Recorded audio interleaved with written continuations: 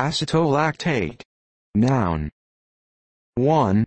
Organic chemistry, any salt or ester of acetolactic acid.